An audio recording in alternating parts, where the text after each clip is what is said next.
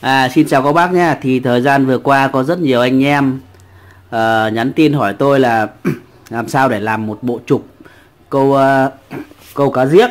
Một số bác hỏi là câu cá giếc uh, mồi uh, lên dùng lưỡi đơn hay lưỡi đôi.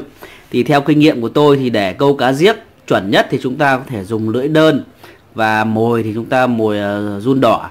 Thì hôm nay thì tôi sẽ chia sẻ với các bác một chút kinh nghiệm của bản thân về cách câu à, cá giếc. Chủ yếu là câu cá giếc nhá. Câu cá giếc bằng lưỡi đơn. Bằng lưỡi đơn và sử dụng mồi à, run đỏ. Còn cái việc mà câu lưỡi à, lưỡi đôi thì tôi sẽ làm một cái video khác. Thì thứ nhất là khi chúng ta sử dụng lưỡi lưỡi đơn thì để chúng ta tạo, làm một cái bộ trục. Thì hiện tại thì có hai cách. Mọi người vẫn hay sử dụng thì chúng ta sử dụng hai cách. Cách thứ nhất, như các bác nhìn là theo kiểu truyền thống ngày xưa, nghĩa là chúng ta sử dụng trục với thẻo làm một, nghĩa là chúng ta chỉ dụng một cái một cái sợi dây để để câu. Đấy. một cái sợi dây như này. Không có không có thẻo. Thứ hai nữa, thứ hai nữa là bây giờ là chúng ta sử dụng trục và thẻo. Đấy. Trục ở trên và cái thẻo ở dưới. Thì về nguyên tắc thì chúng ta buộc như là như là buộc câu đài ấy nhưng mà chúng ta sẽ không cần sử dụng à, cái thanh quân trì ở đây. Tại vì à, khi chúng ta câu như này thì chúng ta sẽ quấn quấn trì ở đoạn thẻo. Thì cái để thì hai cách này thì mỗi thì mỗi cách nó có một cái hay riêng. Thì cái cách à, có thẻo này thì chúng ta về nguyên tắc thì bao giờ cái trục chúng ta cũng phải lớn hơn cái thẻo. Thì để sau này chúng ta có mắc hay cái gì đấy chúng ta kéo thì bao giờ nó đứt cái thẻo. Tại vì nhiều khi là chúng ta sử dụng những cái phao phao cỏ phao nano rất là đắt tiền. Nếu mà chúng ta sử dụng cái trục cái trục mà không sử dụng thẻo như này trục mới thẻo là đều kích cỡ bằng nhau thì khi chúng ta bị mắc thì chúng ta lôi có thể là nó đứt ở bất kỳ vị trí nào trên cái sợi trục đấy. Thì khi đấy chúng ta có thể là bị à, mất cái phao thì theo kinh nghiệm của tôi thì à, bây giờ thì chúng ta cứ sử dụng cái à, thẻo như này là tốt nhất. Thì về cách buộc thì chúng cách buộc là thì cách buộc nó đơn giản như này thôi Đấy. và có một cái lưu ý nữa là thay vì, lưu ý nữa là để câu cá giết bềnh đẹp thì chúng ta phải cân phao và gắn trì. thì gắn trì là như thế nào cho nó đúng thì gắn trì là chẳng hạn như là cái à, trục cái trục à, chúng ta sử dụng có cả thẻo này thì chúng ta sẽ quấn, chúng ta sẽ quấn trì chúng ta sẽ cuốn chì ở cách vị trí lưỡi khoảng 4 cm Đấy, chúng ta sẽ cách khoảng 4 cm này này.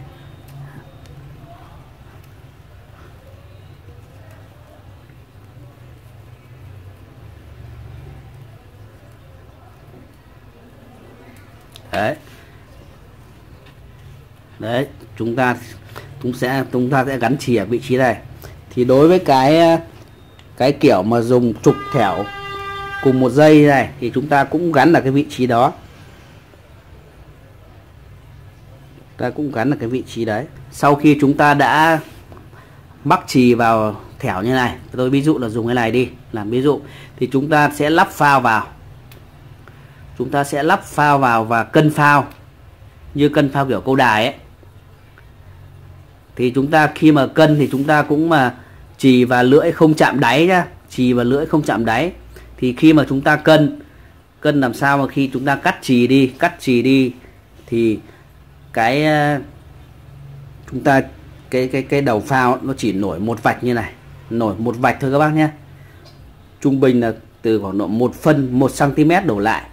Một cm đổ lại đến ờ, đến nửa, đến đến cái, có thể là cái đầu phao này nhú hơi nhú lên một tí hoặc là cao nhất là khoảng là 1 cm đổ lại. Đấy. hoặc là chỉ à, 0,5 cm thôi. Đấy. thì cân như thế thì à, thì khi mà chúng ta câu ấy thì nó báo sẽ rất là chuẩn. Khi mà con cá ăn thì nó bày lên rất là đẹp và từ từ nó không không nhanh. Thì chúng ta giật thì rất là chính xác và là không không bị không bị uh, bị mất thì sau khi chúng ta đã cân xong à, chẳng hạn nổi một vạch như này hoặc nửa vạch chúng ta sẽ kéo hạt trận lên để chúng ta quăng ra cái vị trí câu. Kéo hạt trận lên đến khi nào chúng ta móc run vào lưỡi chúng ta móc run vào lưỡi và và cái đầu nó hở khoảng độ uh, 2 2 đến 3 vạch là hai đa vạch là chúng ta câu được. À, ngoài ra có một chút chia sẻ nữa là cái câu con cá giếc ấy thì chúng ta nên sử dụng những cái phao nhẹ những cái phao nhẹ. Những cái phao nhẹ như này và độ dài là khoảng dưới 40 cm thôi. Từ 35 đến 40 cm hoặc là những cái phao nano nhỏ này ăn chỉ nhẹ ăn chỉ uh, ờ, ăn chỉ dưới một gam trì. Tốt nhất là khoảng độ à, 0,6 đến 0,7 gam trì là tốt nhất. Đấy.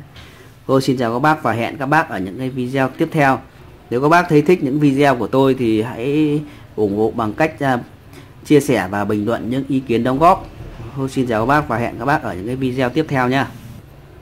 Từ lưỡi lên trì 4 cm thì khi chúng ta kéo phao lên ấy, thì chúng ta để để nó khoảng độ 3 cm nó nhô lên khoảng 3 cm Đấy. 3 cm thì khi đấy cá nó ăn thì con cá nó chỉ cần lôi nhẹ một chút thì cái phao nó đã bềnh ngược lên rồi, thì nó rất là đẹp. Thì đây là một số các chia sẻ, kinh nghiệm của tôi về câu con cá giếc và sử dụng lưỡi đơn và câu mồi run đỏ thì à, nếu các bác mà không hiểu cái gì thì có thể là à, nhắn tin comment bình luận bên dưới hoặc là có thể gọi trực tiếp cho tôi theo cái số tôi ghi ở trên màn hình Đấy. ngoài ra các bác nào có những cái câu hỏi à, à, nào mà chưa rõ thì mong muốn tôi làm cái video thì có thể bình luận thì bên dưới thì tôi sẽ chia sẻ bằng cách quay những cái video để các bác nhìn à, rõ hơn.